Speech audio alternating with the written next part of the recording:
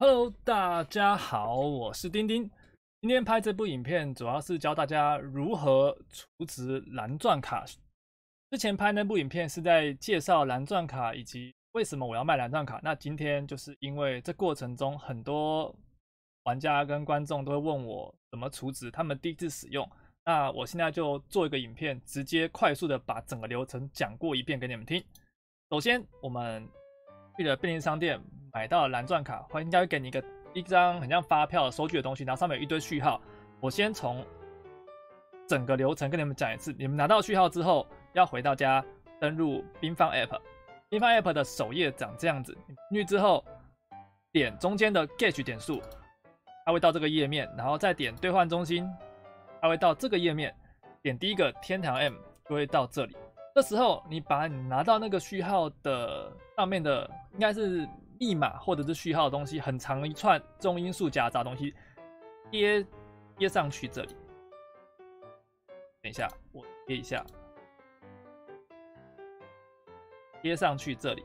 然后这时候你按下送出，它就会出现兑换成功，请至记录查看。这时候你的记录在哪边呢？在右上角这边，兑换记录，你会看到一长串一堆你储值过的蓝钻卡序号。那这时候你只要点它，点个复制，比如说序号已被复制了。那这时候我们回到前一个页面的天堂 N 虚宝兑换这边，点下去它会出现这个视窗。那这个视窗的时候，你就选择你要登录的方式。这个登录方式你可以用 Facebook、Google 跟冰放都可以。那假设我是冰放登录的，我点冰放登录账号之后，就会到这个页面。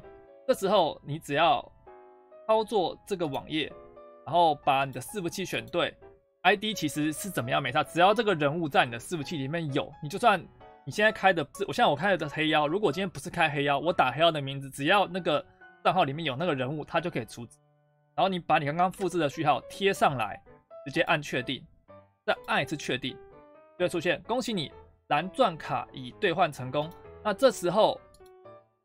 你会说，那我想要再除一张怎么办？好，这时候我就跟你们说了，如果今天是从我这边给你的序号的话，你可以直接跳过前面冰放那一段，你直接到这个网站上面来复制我给你的序号贴上就好了。